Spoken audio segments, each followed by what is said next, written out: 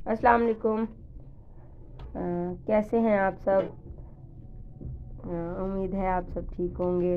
ये देखें, ये आज हम टिक्का, टिक्कों को काटने का तरीका बता रहे हैं। गोश्त कैसे काटें, उसका पूरी, फुल ब्रेस्ट लेके आए, फुल ब्रेस्ट का पीस लाएँ और उसको इस तरह से पीसीस कर लें उसके। देखें। इस तरह से उसके पीसीस करना। जो ये हड्डी वाली, जो लेग वाली तरफ़ से जो जगह है, ये इस तरह इसके विंग्स बन जाएँगे विंग्स कट जाएँगे।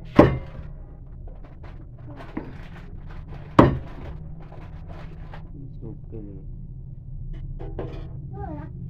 अंदर की हड्डियाँ सूप के लिए। और ये जो बीच में इसकी जो थोड़ी सी बोटी और हड्डियाँ जो थोड़ा सा बच जाता है ये चीज़ आप इसकी यखनी भी बना सकते हैं और सूप भी बना सकते हैं। जी और इसी तरह आप ये लेग पीस लेके आए बेशक उससे चिकन वाले से इसी तरह ले आए लेग और उसको इस तरह से कट लगा लें। ताकि मसाला जो है वो अच्छे से उसके अंदर वो ऑब्ज़र्व कर ले वो। जूसी जूसी बने ताकि, ये देखिए।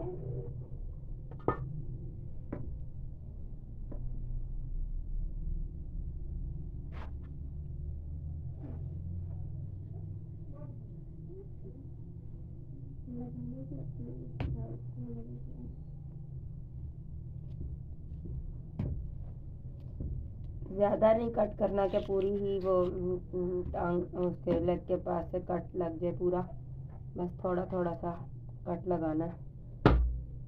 कि इसके अंदर मसाला अच्छी तरह से, अच्छी तरह से इसको मसाला लगा लें। वो भी मैं आपको लगाना बताऊँगी अभी। और ये देखेंगे जो हमने पूरा ये सब पीस किए थे इस इस तरह से। उसको हम इस तरह से बोट इस तरह से टिक्का टिक्के की शेप टिक्के की शेप में काट लेंगे बोटी।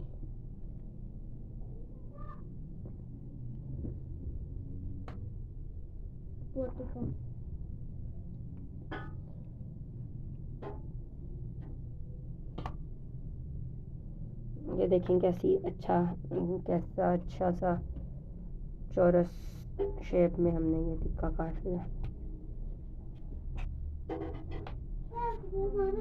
और इसके अलावा जो एक्स्ट्रा ये साइड से इसके साइड से जो पीसेस बच जाएँगे, ये एक इसमें से चार, तकरीबन चार के पाँच बोटियाँ बन जाती हैं। और बाकी जो बचेगा गोश्त, उसका आप कीमा कर सकते हैं, आप सालन बना, सालन भी बना सकते हैं, या आप कोफ्ते बना लें उसके।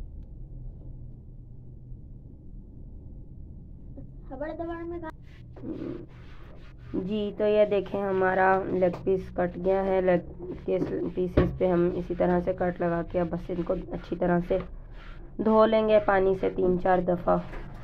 और बस इसको अच्छी से धो के और फिर हम इसे मसाला लगाएँगे। वो भी फिर मैं आपसे शेयर करूँगी। जी ये देखें। अब हमने इसको अच्छे से धो दिया है और इसको थोड़े से पानी में इस तरह से डिप कर देंगे। दस से पंद्रह मिनट के लिए। और फिर दोबारा से इसको अच्छे से वॉश करके निचोड़ के रख देंगे। और इसमें इस पानी में हमने एक ढक्कन सिरका डाला है। कोई सा भी ले लें आप। आम घर में मौजूद होता है सिरका। तो कोई सा भी ले लें आप और उसमें पानी में डाल के उसे और इस तरह से 10 से 15 मिनट के लिए भिगो दें। इससे सिरका डालने से ये है कि ये लेग बहुत जूसी बनेंगे और सॉफ्ट बनेंगे। जी तो ये देखें, अब हमने ये इसको अच्छी तरह से धो लिया था और अब इसको हम ऐसे, ये जो इसके हमने कट लगाए थे, इसके अंदर भी अच्छे से मसाला लगाएँगे।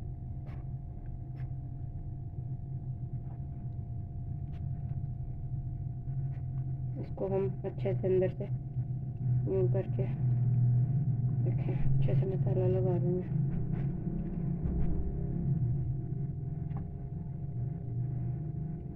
ताकि ये सारे अंदर तक मसाला जो है वो लग जाए और उसका टेस्ट अंदर से फिर वो वो ना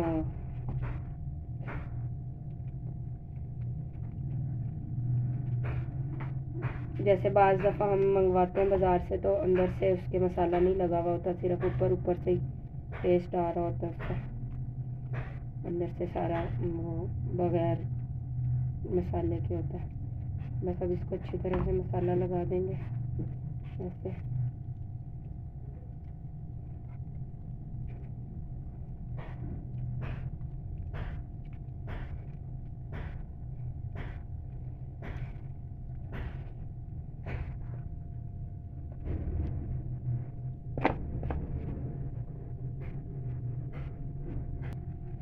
ये देखें इस तरह से सारे को हम मसाला लगा लेंगे, जितना भी हमारे पास पड़ा है मटीरियल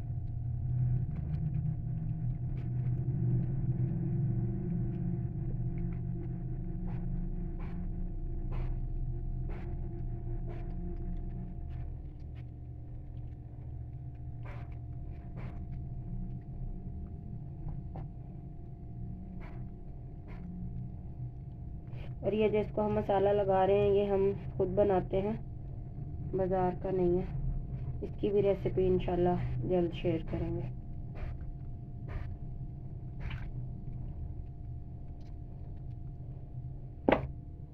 और ये जो फिर जो टिक्के रह गए थे, इसको भी हम बस यही मसाला डाल के और इसको अच्छे से मिक्स कर लेंगे। फिर चाहे आप 10-15 मिनट बाद ही इसको आप बना लें। उसमें बारबेक्यू इसका कर लें या इसको आप इसमें दम दे दे के बना सकते हैं। देगची में इसको बस दम, दम के तौर पे हल्की आँच में थोड़ा सा पानी डाल के इसको आप 10-15 से 20 मिनट तक पका लें तो वो भी बहुत अच्छा जूसी बन जाता है। जी व्यर्थ ये देखेंगे। इतना अच्छा मसाला लग गया इसका। और बस अब इसको हम इस तरह ही ग्रिल कर लेंगे। या हम इसको, वो कर लेंगे। तो इंशाल्लाह अभी फिर मिलेंगे। अभी आपको ये जो मसाला है, इसको हम अभी आपको रोस्ट कर, वो उसके सीखों पे बना, सीख पे बना के भी इसका बारबेक्यू दिखाएँगे कि बहुत यमी और अच्छा टेस्ट आता है। तो बस इसके साथ ही इंशाल्लाह अब नई वीडियो में मुलाकात होगी। इजाज़त दीजिए, अपना ख्याल रखिएगा। अल्लाह हाफिज़।